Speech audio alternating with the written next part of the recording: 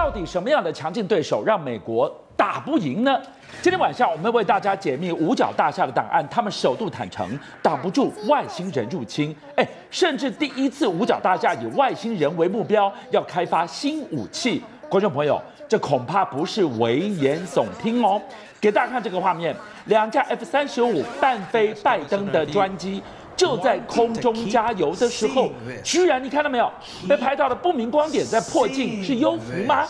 白宫跟五角大厦到现在三缄其口呢。美国的五角大厦是美国的国防部以及最高军事的这样的一个设施所在，它是全世界最大的建筑物。最近它解密一个文件，你就知道这文件有多重要了。这份文件说的是。美国目前对于不明飞行物，我们讲 UFO，现在他们有一个最最新的定义，我这边顺便跟观众朋友报告，叫 UAP，叫不明异物事件，说他们没有任何抵挡的能力、追踪的能力、分析的能力、保护的能力。好啦，那谢长长最后就说，那好吧，那就麻烦你开发新武器。什么？这是美国国防部解密的文件，竟然他们没有能力，还要开发新武器？好，结果刚刚主持人讲到这个事情，我认为。很可能会引发这个全域不明义务办公室更加赶快跟国防部发明新武器了。就不明飞行物现在已经直接就禁止你美国总统拜登的空军一号专机吗？好，这个事情呢发生在去年十二月的时候，当时啊，拜登的专机在空画面当中你有看到吗？来，空中一号是最大的那件，那一架，他他当时哈是飞到这个洛杉矶要准备去募款。那他在准备要降落洛杉矶国际机场的时候，我们可以看到空军一号旁边是不是有两架 F 三十五伴飞，还有一架空中加油机，空中加油机是要帮 F 三十五加油的哈。结果呢，就刚好有个飞行迷、航空迷，他想要拍这个空军一号降落的过程，结果不小心被他意外拍到我们红圈圈住的那个地方，就是不明飞行物。这个不明飞行物清楚到连美国的国防部都不知该如何解释，所以干脆就不解释了。这个不明飞行物当时的过程，我稍微解释一下。来，当时啊，拜登的空军一号，它不是要降落吗？要降落，洛杉矶国际机场就会举，就会开始怎样？叫空中管制，叫临时空中管制。因为我美国总统要降落，所有人不能靠近。好，那结果呢？刚好因为它降落嘛，那美美国的 F 三十五战斗机，它在空中加油机要给它加油。就这时候，那个不明光点刚咻架过去，它扫过了空中加油机。我们再看一次，它扫过空中加油机。等于是非常的嚣张，我直接跟你宣誓，我才不鸟你什么叫做临时空中管制，我就是要来靠近你。各位，两个疑点：第一，既然都已经临时空中管制了，怎么可能会有任何飞行物呢？第二个，它如何能用这么快的速度扫过 F 三十五美国最先进的第五代战斗机跟空中加油机的法眼呢？所以这个画面当时公布，所有人就全部傻眼。你再结合刚刚。全域域不明义务办公室说：“我无能为力，最终分析保护，看来真绝非空穴来风。为什么在这个时间点会曝光了五角大厦他们的这一份极机密的档案？他们首度坦诚没有办法应付来自于境外的访客，因为离奇的事情相继发生在美国。刚是拜登的专机被不明飞行的物体的光点这么快秀过去。”再来一样，在美国迈阿密六百辆的警车突然一起出动，这多大的阵仗？他们要干嘛？美国现在是已经承认外星人的存在，承认不明飞行物的存在，不是有没有的问题，是有没有能力保护的问题了。结果现在我们讲到保护，今年的年初就是跨年一月一号的时候。在迈阿密的商场突然集结了大批的迈阿密警方，有人说大概来了六七十辆警车，有人说甚至来到后来陆续增援到六百辆警车。从空中俯拍的画面是民众提供的啊，这些警车大批警力集结，到底要干嘛？我问你哦，六十辆警车，你一辆警车就算只算两个警察，你看看这个阵仗，对你去人呢？那个阵仗简直是整个整个马路都是警车。有人说，我再讲一次哈，六十辆，有人说到六百辆，我就以一辆警车配备两个警力的话，都有到一百多名到一千名警察。你你干嘛要突然来到迈阿密这个购物商场？结果呢，后来拍摄者，你有没有发现，他的画面里面有一个很奇怪的地方，就是有不明光点。终于有人知道答案了。你看这个拍摄者当时他说，我拍摄到警车的正前方出现了一个巨大的不明异物，就我们刚才讲它在。缓慢的移动，对哎，这个不明异物绝非人的高度，因为人的高度大概了不起，篮球选手也就要两两百公分，它高达三百公分左右，而且这个不明异物啊。它就直接堂而皇之从我刚刚讲的六七十辆或者六七百辆的警车与警力前面走过去，我管你优势警力，我就从你从边走过去。那这个三公尺的巨无霸到底是什么？好，那他们就拍摄者还有很多的目击者都说，那就是一个外星人，堂而皇之公然出现在新年一月一号迈阿密的购物中心的人潮中。那因为大家看到会怕，所以引发了逃跑、动乱、踩踏。所以警察其实本来一开始是接获到说那里有骚乱，他们就来。但来了之后才知道说，原来骚乱是这个，我们就姑且先称他是外星人。因为外星人造成民众的骚乱。好，我这个稍微要平衡两个说法。第一个呢，后来美国警察呢，他就很暧昧，他就爱说不说，他就讲说没有啦，其实哦，那个不明的光影啊、三公尺高，没有，那有没有可能是两三个行人走在一起，所以空中拍摄，把它拍成一个谍影？他我他到到底在说什么？其实我没有听得很懂。这明明看起来就是一个半透明的灰色的三公尺的这样一个不明异物嘛。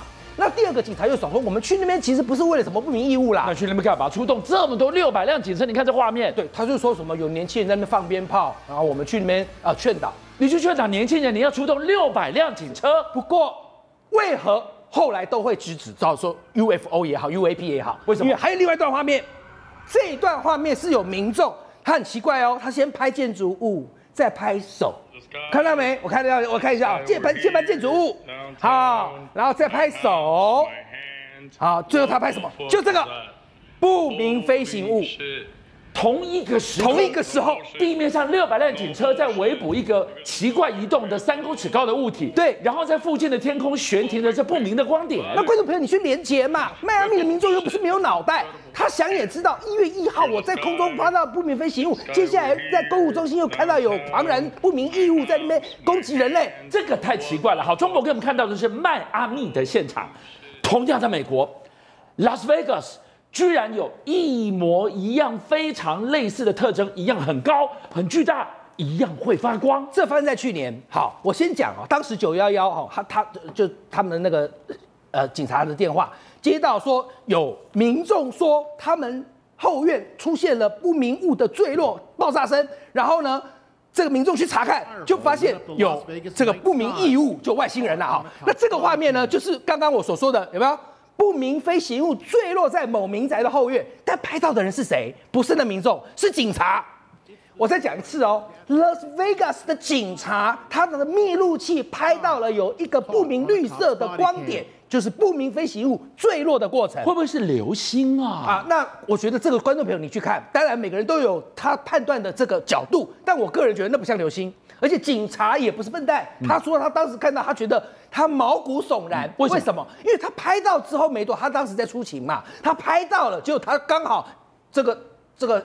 无线电就传来说：“哎、我告诉你啊，附近有一个民宅，说目击到外星人，你赶快去处理。”这警察心里想：“我才哪有那么巧？我才用密录器刚拍到了一个不明异物坠落，然后就隔几几十分钟之后，就有民众说他家后院出现外星人，所以他去处理的时候，他说他很害怕，他很害怕，为什么？因为那个报案的民众说那个外星人还会攻击人呐、那他在他家后院看到那两个不明。异物外星人哦，是呈现大概快三公尺高，但是比较恐怖的是，他说他的呼吸声很大声，非常大声。第二个，他说他的那个内腔啊是几近透明状态，他可以直接看到他的胃在蠕动。透明的。对，那你去综合他所述，他说三公尺高，他又说有不明飞行物坠落，他还说有呼吸声，就警察就去叫附近民宅的监视器，好证明他讲的是真假的。真的，民宅也有拍到不明飞行物坠落，也有拍到当时宁静的社区里头出现了一种很奇怪的、很不像地球会发出生物的那种呼吸声音。我问你，纵观所述，真的是 Vegas 警察这么会害怕来公布这一切，是不是代表他们也觉得这很可能真的就是外星人？所以，如果外星人这个境外文明要来访问地球、来造访地球，他们必须要载具带着他们移动过来。来看到，不止美国，印度，印度机场两架标风战机都已经升空准备迎战了，居然被玩残了，你根本飞不过它。印度英帕尔国际机场突然管制所有的飞机禁止起降三小时，所有的旅客都很好奇，什么一一个国际机场要管制机场飞机的起降呢？到底出于什么原因？后来呢，咻咻看到两台我们讲的 Rafael 的这个法式的空中 标风战机，标风，哦，大家就知道出事了。那再加上后来民众提供了这样目击的影像，才知道说管制的原因是因为有不明飞行物出没啊，出没到印度，哎，印度政府啊，军事排名全世界前十的。他们派出了两架的标风战机，竟然追这个不明飞行物，而且还封闭机场，还管制三小时，造成机场秩序大乱，就为了画面中红光圈住的这个不明光点。结果追到了没有？没有。那印度政府对于没有追到这不明飞行物，还非常的生气，因为你直接直捣黄龙国际机场秩序为之大乱，把印度军方完全不放在眼里，而且最让他们眼无光是两架标风战机。竟然都找不到。好，好，我们再来看到一样，那是什么光？苏格兰的上空，这个要怎么解释？苏格兰这个看起来比较无害，但是令人毛骨悚然。所以有一位民众他说，他目击到天空有个发光的蓝色不明飞行物，他就立刻拿手机出来拍摄。那拍摄我们画面当中近距离看呢，可能也许因为放大的关系，看得不是很清楚。但我引用苏格兰这位民众的描述，他说呢，他当时放大看之后，发现这个不明飞行光点。看起来呢，又有一点点像是不明生物。哎，我我有点搞混了哈。不明飞行物跟不明生物两个差很多啊。他说，因为他放大之后觉得它很像天使。哇，那如果真是天使，那是一个很巨大的天使哦。还是说是一个不明异物，就外星人长得像天使？不晓得，因为他说有翅膀，所以根据众多目前很多的不明物。不明生物、不明异物的目击事件，难怪美国政府会去解密。现在他们已经承认有外星人，所以外星人已经不再是有没有的问题，而是有没有能力保护地球人的问题了。美国海关跟边境保护局最近呢，一口气试出了十部跟优福相关的影片，其中一段画面我们给大家看到，圈起来这个不明飞行物体速度之快。前一秒还高速潜入海中，随即又破水而出。什么样的飞行器可以飞得如此的快？重点是，美国怎么会选在这个时候大量公布应该是极机密的影片呢？大家一定很好奇，到底真有优福吗？事实上，人类史上最大规模的地球人跟外星人的真枪实弹的战争，也在美国。我们来看看最后谁赢了。上个礼拜呢，美国的海关与边境保护局公布了一件 UAP 事件的影像。所以 UAP 指的就是不明空中现象。这段画面呢，很多人没看过。就是你看右边有一个 A10 的攻击机，美军的 U10 A10 攻击机在飞，但左边呢却有一个 U 服一直在尾随着它，而且呢它的形状就是成一个小圆点而已。我先来给大家看体积。它跟美国的 A10 攻击机比起来，真的很小。但是你我小，但我速度跟你一样快，而且呢，我从头到尾呢，完全可以追着你咬死不放，只差没有攻击而已。所以这段画面就会发现，A10 攻击机虽然我们知道它二零二九年就是要退休的一个老攻击机了，但是再怎么说，后方的不明飞行物能够这样的咬死追踪 lock 你。我认为后面的这个速度以及它的科技一定是非常令人难以想象的。这段画面，中普给我们看到的那是油猪哎，油猪攻击机是对面对地扫荡最恐怖的杀器。结果这个不明飞行，好，我说优福好了，他为什么挑上了油猪？而且这个地方鬼魅一般，如影随形，你飞多快，我就咬死你。事实上呢，这个球状物体不明飞行物呢，它挑衅的成分居高哦，因为它从头到尾并没有飞过它，也没有在它面前做一些耍花枪的花式飞行，它就是咬死你而已。而且为何我说是挑衅？因为当它对油猪攻击机挑完衅之后。他竟然又对地面上一辆十六轮的军卡挑衅，来，在画面当中有没有看到那十六轮军卡是不是停在那？而这不明的球状飞行物靠近它，哇，白色的那个点点呢？而且这靠近它还悬浮在那，有点滞空飞行漂浮的这样科技能力啊！各位，我讲到这边，这个影像不再是以前一般人目击者用手机公布，是美国海关与边境保护局。好，刚主持人提到，为什么最近美国海关与边境保护局突然好像就是不设限的把十部的不明飞行事件的影片往上传？其中有一个很多人看了还说这个我看过，就是二零一三年在波多黎各的阿瓜迪亚基地被人目击。当时有一架飞机正往左边飞行，可是它的后方有一个不明飞行物快速的飞越陆地。这个不明飞行物在飞越陆地之后，可能你以为它大不了就是以极快的速度消失在你的目光之中，不，它竟然在你眼睛前面表演。它从陆地在嘣一下，迅雷不及掩耳飞入海中。飞入海中之后。那你会认为，那可能就是一个快速的不明飞行物体，可能坠落了，掉到海里面消失了。没有，我刚刚一直讲他在表演，他从陆地快速飞行之后掉到海中，他再从海里面飞出来窜出来，就像那鱼那很大的那种海怪生物一样，从海中窜出来之后，然后在第二度飞入海中消失。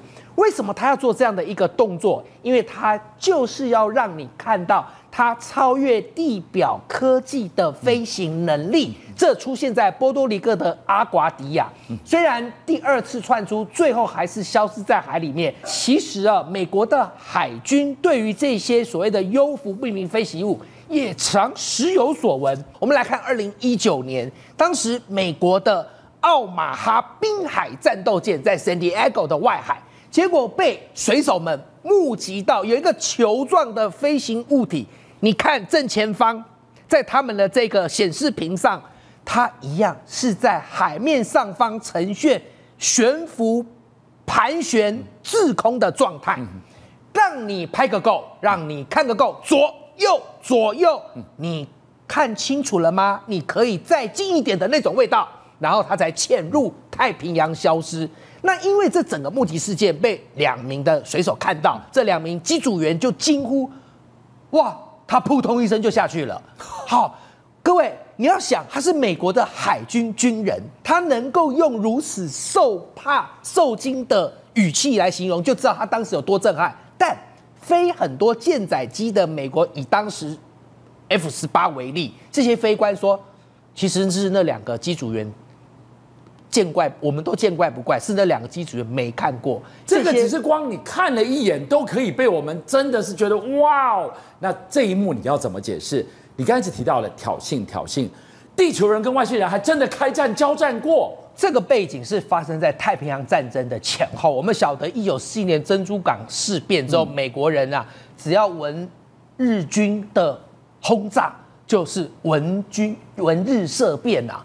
那当时大家都还在这样的阴影，就没想到，果然三个月之后，阴影化为事实，发生在洛杉矶。之前都还只是在那些岛啊、关岛啊、珍珠港啊、夏威夷，竟然打到你美国西岸洛杉矶本土了。这个历史的事件非常有名，被称为叫洛杉矶之战。当时在一九四二年的二月二十四号深夜，我以当时有一个呃民众啊，他叫戴尔。戴尔回忆，他说：“因为他们每天都是这个呃处在日军可能会来攻击美国西岸洛杉矶的阴影下，所以防空警报的演习、躲防空洞已成为家常便饭。但没有想到二月四号的深夜，这回不是演习，而是军方明摆着将美国洛杉矶所有的灯光停电，因为他们在上空发现了不明的飞行光点。”所以他们要让那个飞行光点能够凸显出来，好让美国的防空团能够用防空炮弹把它打下来。所以这个是当时的报纸哦，你看这个是洛杉矶当时的报纸，标题已经告诉你了。哎，我对他打探照灯，而且我用防空的这个相关的这些武力火力，我要把来犯的这些不明的飞行物击落。所以他们当时停电，然后并且用探照灯去照它，然后再由防空团呢发射防空炮弹。总共打了两千发。根据我说的洛杉矶民众戴尔的回忆，他说那时他觉得自己就像置身在伦敦大轰炸般，感觉好像被纳粹闪电战攻击一样的可怕。这个是大规模交战的概念。你要知道，太平洋这么大，他们是在东太平洋，照理讲是东线无战事，对，战火都在哪里？都在第一岛链、第二岛链的太平洋海战啊。可是这回就是打到你美国的本土，就在珍珠港事变的三个多月后啊。好，那么国防部那时候传出来的消息，民众也分享，因为这个攻击长达了好几个小时，民众分享的这个呃谣言四起，认为这是不是美国遭受到日军的轰炸机的轰炸、战斗机的轰炸？也有人说不可能是日军派了飞机飞来要做心理战、投传单，还有人说会不会是气象气球？不管怎么样，都是日军来者不善呐、是，好啦，最后经过了十几个小时的攻击，一阵狂轰猛炸，这个攻击它结束了。但结束前也发生一幕非常戏剧化的画面。据美国当时的国防单位回忆说，这些不明的光点在你两千发的炮弹攻击之后毫发无伤，毫发无伤，他还故意不离去，在空中盘旋，然后最后变换队形，哇以示威般的方式让你知道你看得到我，但你打不到我，我毫发无伤，我现在跟你说拜拜的方式飞去飞走。所以那时候，美国的军方对于这样的过程感到很不可思议。那我刚才说了，是上面日军的哪三种可能呢？传单、轰炸机，还是气象气球，飘或者是我们说的悬浮气球？后来，因为美军并没有对这件事情解释它真正的来龙去脉，不过造成六人死亡，三个是被防空弹的碎片给砸死，另外三个是活活吓死。而当时的所有遭遇过这样的美国西岸洛杉矶的居民都认为，其实跟日军无关，因为日军没有这样的科技，他们至今都深信那是外星人与美国的洛杉矶之战。继续，老师在现场要告诉我们，原来外星人离我们这么近。美军首度证实，他们曾经虏获非人类飞行员的遗骸，也曾经从外星飞行器的残骸逆向工程去打造黑科技武器。但那是什么呢？没想到，就在同一个时间，即将要退休的美国最高军情首长命令，他也说出真心话。他说，有一些目击不明飞行事件的这些情况跟现场，实在难以解释。曾经跟外星人第一类接触的军官，甚至说。外星人有能力控制我们的核武发射，掌控人类的生死。全世界人都一直在问一个问题：马老师有没有外星人？有没有外星人？我告诉你，以前美国对于外星人全部是封锁、封锁再封锁。最近美国对外星人越来越开始讲了，为什么？为什么？为什么？我觉得是外星人要现身了。美国人先教育大家有外星人，看他不要怕。好。密利是什么人？美国参谋联合会议主席，就是我们的参谋总长。好，他是美国军令的负责人。他接受《华盛顿邮报》专访，居然讲两件事情。第一个，有些外星人的目击事件难以解释。第二个，有些外星人不明飞行物事情危及国家安全。最近，美国国会又举一个听证会，这听证会就不得了了。是。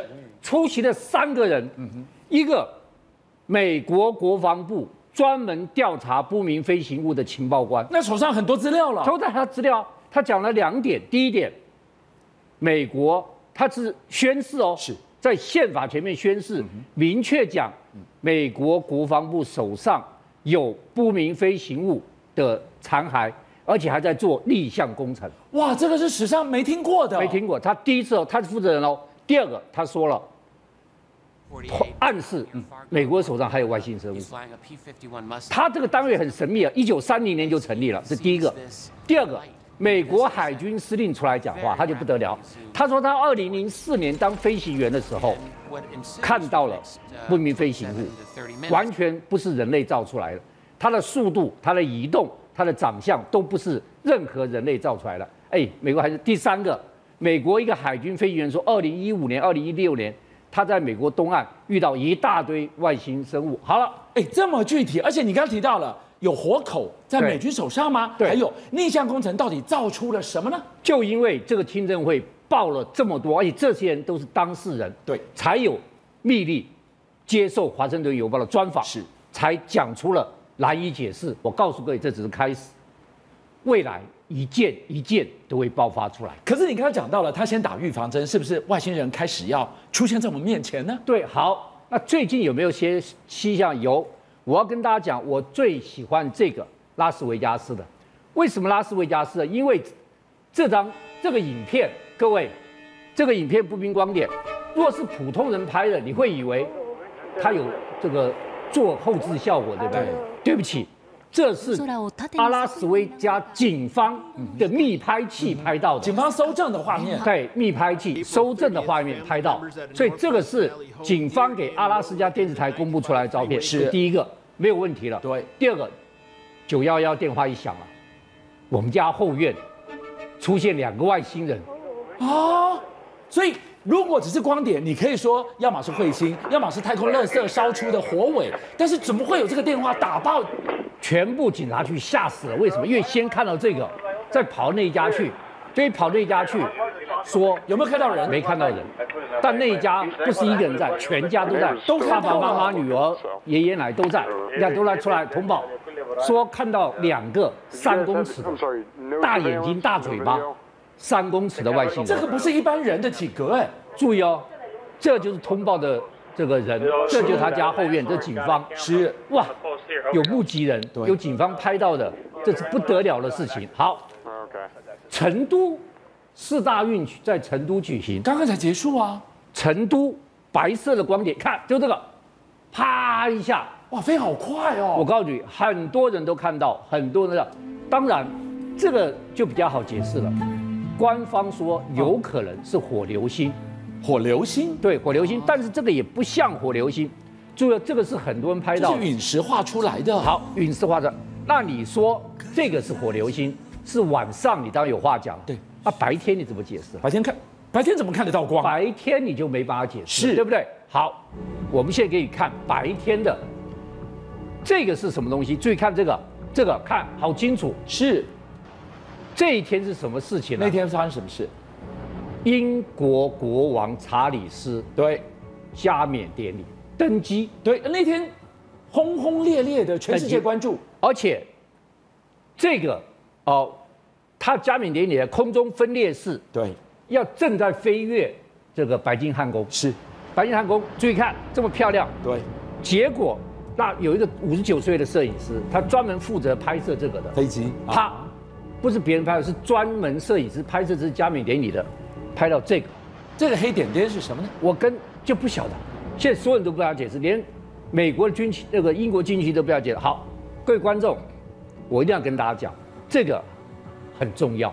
为什么很重要？为什么？很重要？因为所有研究外星人都知道，外星人有四个地方特别喜欢出现，哪四个？哪四个我在电视上一直在讲过，一个重要典礼，一个重大灾难，一个战争现场，一个是核武基地。是这四个地方特别容易出现，而其中又以英国最容易出现。哦，对，好，为什么以英国最容易出现呢？伦敦奥运，有没有拍到不明飞行？有有，是还没完。最可怕的就是威廉王子的婚礼，世纪婚礼，在婚礼前三天，对，一个美国的中校说，你婚礼那一天会看到外星人，他他的预言后来成真了，就就世纪婚礼那天就出现了。那后来人家就问这个美国中校，你为什么会知道？因为我是外星人，不是，他说两点，第一点，英国的重大活动，外星人特别喜欢看，英国是哎看起来地球上这个对特别喜欢看。对。第二个，英国皇家空军有报告给我，这几天在英吉利海峡，不明飞行物出现的次数突然增加了。他们已，经不期而遇了，所以我就觉得他们一定会来看是。威廉王子跟凯特王妃的婚礼，所以他预估会出现，结果居然在查理斯国王登基那一天是又拍到了。马老师，你刚刚提到了优抚外星人会出现有四个热区，最后一个叫做核武基地，对是真的吗？对，好，我简单讲一下，这当然是非常有名的。一九六七年三月，美国马尔罗就是这个罗姆空军基地太常出现卫星人，几乎是外星人最常出现一个地方。为什么特别来造访？那因为他的指挥官上校有到国会去作证，嗯作证他就说，我的外星人一出现的时候，我的十枚义勇军飞弹带核弹的，哦，对不起就不能动弹了。那这件事情当初发生的时候，当轰动全美国，指挥官都去作证，是他作证做了三点详细说明。第一个，不可能十枚义勇军飞弹同时同时失灵，太诡异。不是十枚每一枚有独立的系统哦，要带核弹的。我如果有一枚失灵没关系，我另外九枚都是独立系统。那什么力量？所以第一个，十枚同时失灵不可能的事情，不可能。就像核电厂它有备用电发电机一样，这第一个。第二个就是，居然美军没办法修复，更可怕在这个，要等了一天之后，到了第二天，美军才把系统修复。所以这个不是人类可以做到的。好，如果喜欢日本的朋友，我特别跟大家讲甲府事件。为什么讲甲府事件呢？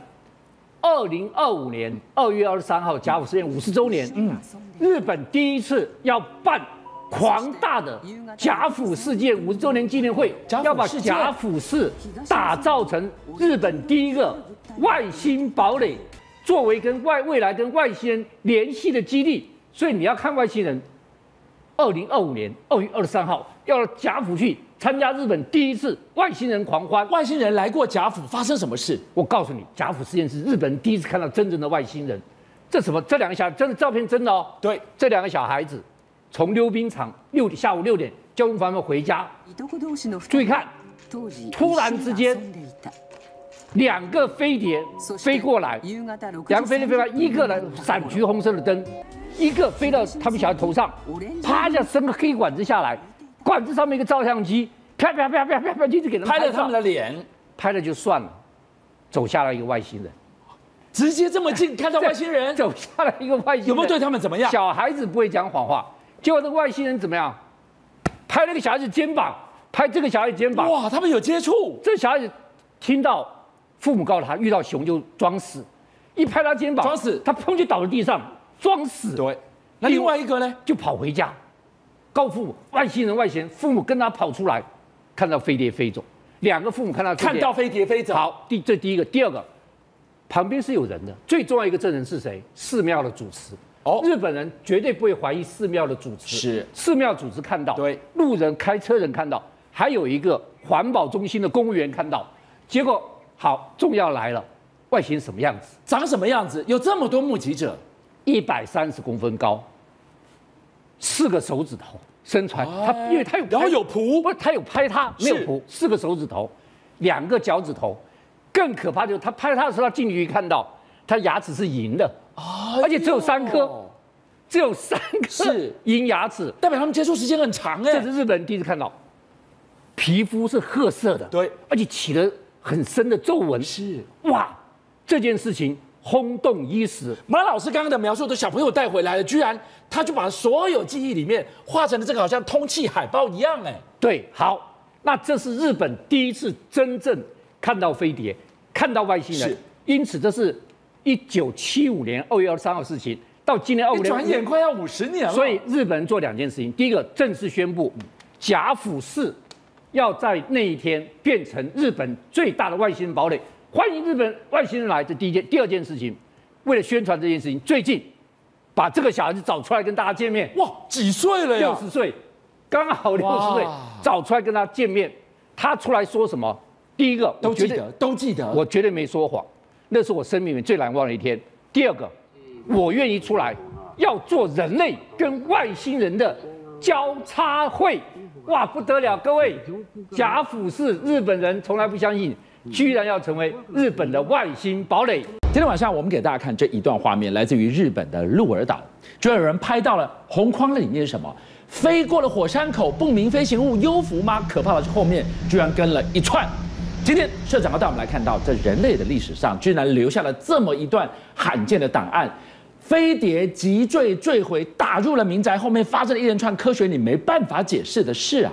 对，镜像十月大惊奇在哪里？在鹿儿岛的上空。十月五号，一个幽浮舰队就从鹿儿岛上空这样横越过去。而且你看这个舰队，你注意看了，后面那前面是是母舰比较大，后面整个舰队它速度不但快，而且可以上下变换位置，很快了。嗯，那我们讲说，外星人之所以可爱啊，就是它离我们有时候离我们很近，嗯，但有时候又离我们很远，你看得到，那你又很难靠近它。那我们讲说，在地球上其实不只是这个实业惊奇啊，地球上其实有很多的惊奇，就是所谓的地外文明留下来了。我今天要特别讲两个地球上的最大的悬案。第一个是在哪里？在一九七三，一九七三在罗马尼亚一个叫埃乌德地区，地区，他当时是在开一条河，在挖一条河，结果在河床底下十公尺深的地方，对，挖到了一个东西，就这个。这个他一看就是人造物品，嗯，人造物，你看它都在钻孔钻洞哦。这个有人讲说这个有点像怪手啊。我们现在怪手前面那个爪子，后面这个地方就是从这个河床里面挖出来的，对不对？有人讲说它形状像那个怪手的爪子，也有人讲说它现代飞机的一种起落架嗯跟这个长得很像。嗯那重点在哪里？这个东西一出来，因为是在地底十公尺深的地方嘛，对，所以科学家一定会。看地质层，这个地质层这个东西到底是什么时候的？嗯，结果一看，二十五万年前留下来的东西。二十五万年前，对，因为那个地质层一层一层，它都可以做检验嘛。对，有机物一一测定就知道大概几万年、几千年了。一测定是二十五万年，那二十五万年前这个东西如果是石头，那倒也罢了。问题在哪里？它这个不是，它这个是一个金属物品，就是而且是一种铝合金。你你跟我讲，二十五万年前有一个铝合金，这是什么样的冶金技术？从哪里来的？对我我们知道，人类在铝合金的技术啊，是在一八二五年才懂得提炼铝，一八零八年呢，一八零八也不过是两百多年前而已，二十五年万年前的事哎，对，才知道铝元素这个东西是，你看它这个切切片切的非常清楚，而且你看切开里面是那个。那个金银色呢，就是铝。我们现在就来讲铝合金。刚才讲一八零八发现这个铝，然后一八二五才懂得冶炼技术。铝合金有多难呢？你知道，到即使到一九四零年代，希特勒，希特勒发发发发动二次世界大战的时候，当时铝合金被希特勒归纳为全国最高机密，你不能流出去。这种技术啊，很困难，很困难。那这个东西在二十五万年前它出现了，第一个它不符逻辑嘛？你现在二十五万年前智人都还没出现呢，它既然出现了，那做什么用？没有人知道，是一个谜。但它这个东西不应该存在，存在的它存在了，这第一个。第二，刚才刚才大家看的这个孔，这个孔我们知道钻石钻孔，钻石机那个钻石头啊。钻孔机啊，也是在十几十九世纪末才才开始出现的。你也要钻孔机才钻得出这个孔。对，那刚才讲这个铝合金，它的硬度就加上很多的东西啊，硬度这么高，一定要钻孔机嘛。二十五万年前也不可能有。你不要说二十五万，八百年前、三百年前你都不可能不可能有。你去钻这个铝合金的这个孔，怎么钻出来？它切割成这样的一个完整。刚才讲那个孔又能钻的那么圆。而且你在钻孔的时候，你还要注意温度，太高的时候，那个温度太高，你还会融化、会氧化。所以这种东西它很多不存在的一种这种技术啊，它二十五万年前出现。第三呢，后来科学家把它切了一块下来，切了一块下来去检验它里面的成分。你想它，你看这边特别的铝占了百分之八十九，将近九百分之对。铜占了百分之六点六，其他还有锡啦、锌啦、镍啦、银啦、钾，很多。最主要有十二种物质啊，已知道了一二三四五六六种知道，还有六种地球上没有的元素，未知从哪里来的是什么元素不知道，地上没有那种元素，所以这种东西它很判定天外来客带过来的一个东西，二点二点三公斤，这是其中的一个悬案，到目前无法破解呢。第二个，第二个我们要讲是一八九七年，一八九七年那是百年悬案。一八九七年在德州，美国美国德州啊，德州一个叫艾洛拉镇，艾洛拉这个镇，这个小镇在一八九七年的四月十九号早上六点多的时候，人们刚起床，有很多人看到天空有一个很亮的火球啊，正越过这个艾罗拉小镇，结果这个火球好像是坠落了。他就打到哪里？打到一个当当地有一个法官的一个农场，农场里面有一个风车，对，他直接撞毁这个风车哦。大家看这个影片很清楚，撞毁这个风车这么准啊！这个火球其实可以看得出来是一个雪茄型的东西，后面冒着浓烟呢。他撞到这个这个风车以后，又撞到好几棵橡树，橡树很粗很壮，他把橡树有的撞断了，也就是直直接这样插过去，插过留下很多的痕迹，然后在地上起火爆炸，爆炸成一些碎片，所以。当地因为清晨嘛，很多人睡觉中惊醒了，震动啊，这么大的轰鸣声，结果就赶过来这边看，从地上布满了这一张，你看地上布满了这个有没有银色的、银白色的东西碎片？到底是飞来什么东西撞上去了呀？银白色的东西，刚才说是雪茄型的飞行物。那各位说知道一八，刚才是一八九七嘛，人类飞行物还没有出现哦。人类飞行物，莱特兄弟发明的飞机是这个。六年以后才才开始，而且升空，莱特莱特兄弟那个升空的飞机是木头做的，比较轻，滑翔翼的，嗯，飞了五十九秒，一点六公里就下来了。对，这个是整个天空这样直接冲过来，一个雪茄型的，已经比我们所知道的飞机还要更更先进，先进很多了。而且它有一个几何形状哦，它还不是说你随便的一个所谓的彗星哦，就这样撞进一个雪茄型哦，雪茄型。而且彗星彗星如果撞地球的话，或者陨石撞地球，它留下的是银铁。它这个不是，我刚才特别讲，它刚当地居民赶过来看满地那个银色的碎片，嗯，银色的碎片，对。那当天在德州有一个报纸叫《达拉斯报纸》，对，特别你看这边都留下证据，这张报纸就是当时德拉达拉斯报纸那个留下的当时的那个那个记录记录的文字跟照片。OK，那这边你要科学家碰到这种问题，当然一波一波又赶过来，来赶过来这个小镇。所以这个金属，他们把它定定名叫奥洛拉金属，因为是这个小镇的奥洛拉小镇。过去没看过的。对，奥洛拉金属。那奥洛拉金属当然就要检验了，跟刚才完全一样，就是铝合金，又是铝，又是铝合金。对，而且铝合金这种东西啊，刚才讲它这个铝合金，跟我们刚才讲的那个那个像罗马尼亚那个那个铝合金铁啊不一样，它里面成分是含百分之九十的铝，嗯，百分之五的铁，嗯哼。哦，其他也是一样，未知元素，嗯哼，又来了，都是搞这种东西。那你看我们画面上手拿的这种东西，这个也是当时撞毁的时候捡到的，像齿轮一样的、一样的这种东西。所以证明它是一个天外的飞行物，而不是陨石，不是讲的什么彗星撞地球，不是。那它撞毁以后，后来要一八九七发现的。那刚才讲这个法官叫提姆，提姆，他后世子孙在一九五七的时候。连他的孙子了，一九五七的时候，把这这个东西呢，当时这个碎片很多，因为不晓得这种贵重啊，对，他们把它丢掉，丢到这个农场里面一口井里面。那这个井在这个提姆法官的那个孙子的时代就把它封起来了。对，那为什么要封起来？因为当时他们看到了除了这个碎片以外，他其实有看到一具像人体一样的东西，但像小孩子。哎呦！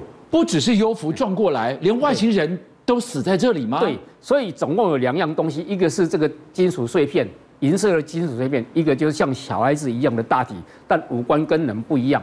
当时也搞不清楚什么地状况，就把它埋在当地的一个墓墓园，把它埋做了一个墓，把它埋起来了。对，还立了一块石碑，当时还刻了这个，你看这个石头还刻了一个像像这种幽浮造型的东西。你如果当时有留下来这个。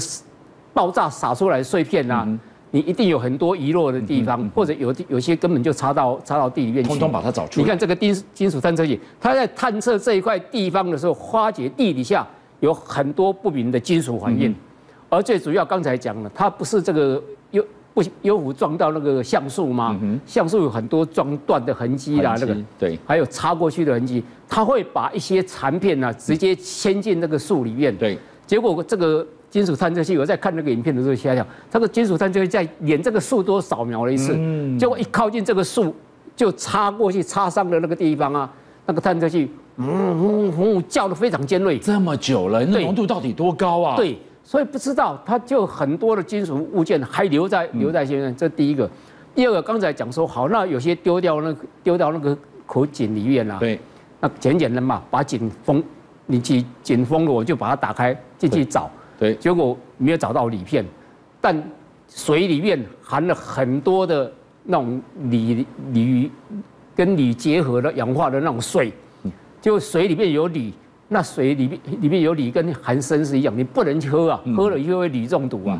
那这个事件刚好就跟我们讲说这个提姆法官呢，提姆法官当时把这个锂碎片丢掉那那个井里面呐，但他不知道井水它会渗透，对，会渗透到地下水，对，他喝了很多。包括附近的居民喝了很多这种水啊，那会怎么样吗？那个手啊，我们其实都有图片，他那个手整个关节这边像那个哦，你看这个手整个关节这边整个肿变形，整个肿肿要像肿瘤一样，一颗一颗呢，是一颗一颗呢。所以当地有很多人讲，那不晓得是什么意外啊。那后来也是一样，医学家过来才发觉它是锂中毒，那代表说这个地方当时留下的那个锂片呢，它的真实性是非常可靠的。浩瀚的星河传来最新的消息，马老师今天要来告诉我们，人类在外太空最浩瀚、最深处的一双眼——韦伯望远镜，居然传来这个惊天一爆的消息。他抓到了距离一百三十亿光年外的一道光，他拍到了正在喷发水汽的一颗星。到底背后藏着什么样的生命密码？而 NASA 为什么选在这个时候宣布秋天要加速优抚的研究？到底有什么新发现吗？各位观众，今天的影片跟照片，你一定要看哦！人类从来没见过的，实在是你宇宙深处的景象，第一次给人类送到面前来。我告诉你，拜登总统亲自在白宫主持了这个公布的典礼。拜登呢？你看他一直在拍手，你知道他看了自己都拍手。拍手什么？看着这一个画面，这个画面弄出来。好，这是什么画面？这是四十六亿光年前的宇宙的图像。是。好，各位，这是什么意思呢？就是四十亿年前发生什么事情？地球诞生。哦。就地球诞生的时候，宇宙长的是这个样子。那其中，NASA 的署长自己说。其中有的这个光点，对，是超过一百三十亿年光年来的，这么远的距离啊！所以宇宙大爆炸什么时候？什么时候？一百三十八亿光年，一百三十八亿年前。所以我们现在看到的是宇宙大爆炸时候发生的情形。是。那我要给大家讲，韦伯望远镜是去年圣诞节升空的。对，选的圣诞节是就是要搞清楚地球。宇宙诞生的秘密。好，那哈勃韦伯望远镜呢？升空之后，这是第一次传出来这么惊人的东西。它的任务第一项是什么东西？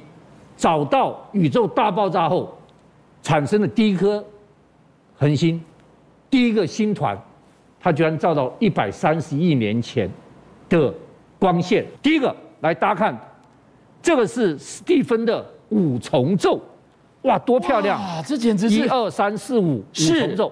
那你在平面看，事实上这个是最靠近我们地球的哦，因为你虽然有前后是，但你照起来一二三四五，对不对？对。好，这个史蒂芬五重奏对距我们地球两点九亿光年，是，这是个什么概念？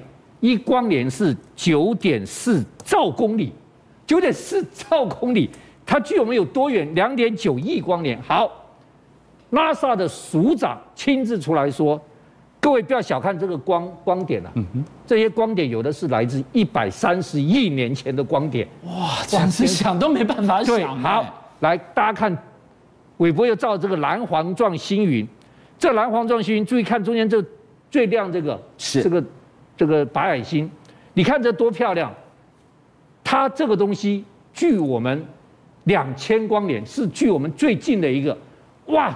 这么漂亮的一个星云，我们第人类第一次看到宇宙里面有这么漂亮星云。最后我要跟大家介绍介绍这个船底座星云，这张好特别啊！看这个粉红色是什么意思呢？这像不像我们站在山底往上看呢？我告诉你，它是个我们看到的是一个正在刚开始发展的星云。它的红色是什么东西？都是气体啊！哇，都是气体跟尘埃。我以为这个是火焰山的山棱线，不是，它都是气体跟尘埃。是气体跟尘埃，那这些尘大尘埃、很大尘埃，在气体里面互相撞结合。我跟你讲，这些发亮的东西都是正在成型的恒星。我就问你一个问题：韦伯传回来的消息，大家只问了，你有没有发现任何星海有生命的证据？好，韦伯，我刚刚讲两个任务，一个是找到第一颗恒星跟第一个星云，对；第二个就是找有生命的行星，对。好，找到一颗，找到了吗？就这一颗，这一颗传回来数据，这什么数据呢？是，就是它有。大气层对，有水，有云雾，听懂意思没有？就是有水就可能有生命。大气层有水有云雾，那这跟地球很像吗？但是有个问题，它太靠近它的太阳，它太靠近它的太阳，太热了，太热可能就没有办法存在。太热，所以我们可能没办法生存。但是代表说它有找到这样了不起的这个星云。好，第二件事我跟你讲，漂不漂亮？漂亮极了，美不美丽？美极了。里面太空里面还藏着人类恐怖的灭绝信号。快说，灭绝信号在韦伯传回来的图档里？不在图档里，在美军的 X 三七 B 太空飞机里。这个美军最神秘的 X 三七 B 太空飞机，二零二零年五月七号从卡拉维尔角升空。到今天七百八十六天，我告诉你，全世界都在问美国。第一个，你他在太空七百八十六天在干什么事情？第二个，他起飞的时候是满载的，你到底带了多少东西上太空？你要给我通通交代清楚，清单讲出来。到底他干了七百多天干什么事情？两年了，对，两年了，除了美国知道之外，没有任何人知道。哎，这个我可以说是美国在外太空最。最玄秘的两大谜团，一个是韦伯，一个就是个太空飞机连他自己的盟友都在问，他就不好意思，他讲了，说我讲两个好了，一个我把空军的一个太空卫星送上去了，那大家在想了，空军的太空卫星，你找谁呢？不是你为什么不让这个 Space X 火箭就送上？你就可以送上去，为什么要他？要他？你是要特别的秘密的布置些什么？第二个更恐怖，他说吧，太空军跟海军的一项。太阳能转化为微波并送回地球的任务，怎么了吗？能量转换而已啊！我告诉你，太阳太空的太阳能是二十四小时源源不绝，没有被云雾、下雨什么挡住的，源源不绝。那大家都在想，我如果利用太阳能把它传回地球，天下无敌。好，太阳能面板在太空轨道是没问题了，是。怎么把？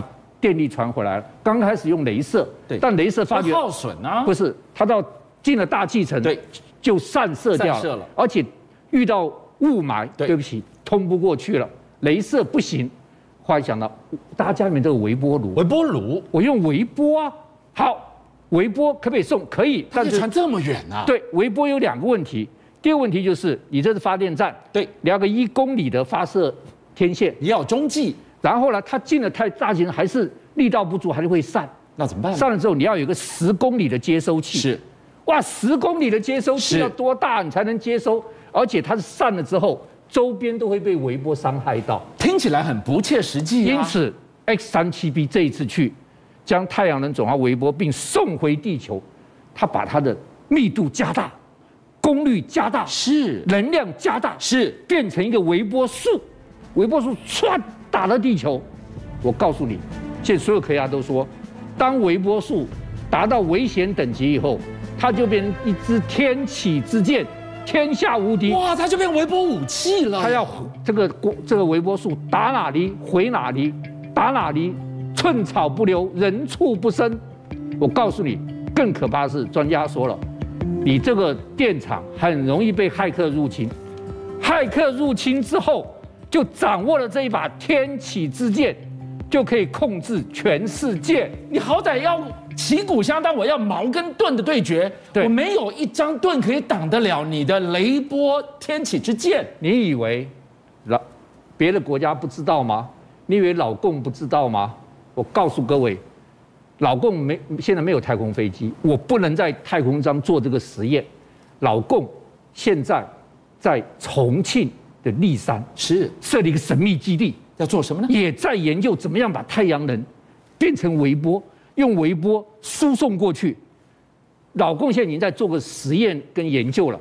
当他在重庆这个实验跟研究成功之后，他已经宣布了，他在二零五零年前要把第一个太阳能发电工厂送上太空。太阳能、微波，我直接在中间拦截中继。我们讲到了关于太空，刚刚我一直在追问马老师的韦伯带回来的星海的消息，背后藏着什么样的生命密码？怎么这么巧？NASA 宣布秋天要加大力道去探索幽浮的秘密。我告诉你，我就不知道韦伯看到什么东西了。NASA 突然宣布，他要成立一个独立团队。这个独立团队干嘛？调查 UFO，全世界最厉害的太空机构向外星人。正式宣战，正式宣战。但是，NASA 的助理署长在直播上向科学界道歉。他说：“我知道这是对科学的背叛，这是不务正业。大家你觉得 NASA 去调查这个所谓不明空中现象、空中神秘目击事件，一定是背叛？但是我们必须要搞清楚这是什么东西。所以这个几乎就是我们讲到的超科学的。”超级 X 档案，但大家都觉得那是是玄幻的领域，NASA 要杀进来，认认真真的研究。但你 NASA 要杀进来，外星人就不给你面子。NASA 一宣布他要成立这个独立团队调查 UFO 的时候，外星人怎么了吗？加州圣地亚哥的上空出现六个神秘光点，先出来两个，啊，出来六个。在你注意看，所有人都拍到，在上面浮了，你知道这浮了多久？十一个小时。哦，整整浮了一脚，所有加州人都看到，看到之后，那个警察电话被打爆，就警察最后给发记者会，你知道说，他说这是什么东西？他说这是军方发射的照明弹，照明弹最好，照明弹还可以排列一个几何的形状啊，而且先头是两两两个，对，后来慢慢变成六个，是。六个又变成五个，对，超过一个，重点是超过一个小时，照明弹能够在看到没有？又变五个。然后照明弹可以在空中浮现一个小时吗？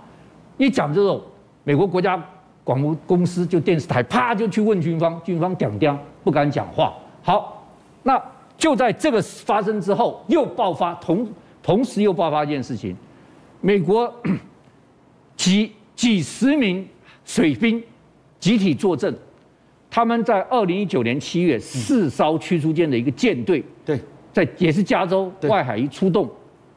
数百架不明飞行物一直绕他们飞，绕了四个半小时。四艘的驱逐舰，对，被 UFO 的奇异光点蜂群一般的围绕。哎，而且我告诉你，它是小光点，就是跟着它周围一直绕。注意看，等到看看这小光点，这是夜视镜哦，这军舰上的夜视镜哦，都拍得清清楚楚。看到没有？军舰上的夜视镜拍到的哦。